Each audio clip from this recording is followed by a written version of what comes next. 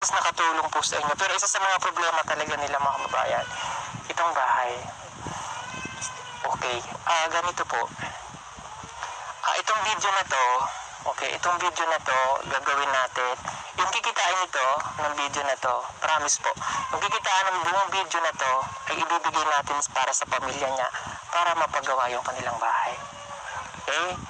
Yun yung gagawin ko po. At sana itulungan niyo po ako, i-share niyo, maabot ng million views para yung kabuhayan nila. Lahat ng kikitain ng video na to, mapupunta sa kanila, ipagpapagawa nila ng kahit maliit o mas maayos na bahay po. Ah, kala sila. Mm. Ginala niyo po siya. ang kuan sir kanang akong papa gisabak ang papa sa iyang papa Ano yun? Ano yun? kag sa agaw o ug akong mama gisabak pud ang kuan mama sa iyang mama Parang inaanak sir ba? Ah, inaanak.